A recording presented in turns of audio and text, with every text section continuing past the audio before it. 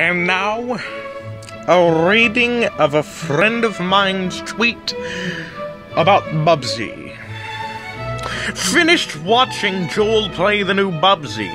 What was the point of that? When I see a game, I like to ask what it contributes to society. Maybe the art style is something beautiful. Maybe it experiments with a new concept. Maybe it might encourages people to become more social. The original's point was to be a competitor to gaming's greats. It failed, but at least it tried and had even a couple interesting ideas. Nothing is notable about this game, though. The visuals are drab, the music uninspired, the level design is vapid, the story was nothing.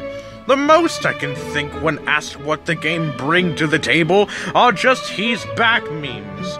And even then, those were around pre-launch. Honestly, if they wanted to make this game something that won't be forgotten in a week, there were things that they could have done. It's so short that they're almost begging you to refund it the second you finish it, as if this entire game was just one weird fever dream. The game should have gone all in with its self deprecating humor, because that's the only way I can see Bubsy working nowadays. But as it is now, it seems like something they just give to a B team, because they just noticed they had a spare IP lying around. I want bad games to be good and I want to be noticed! Ah!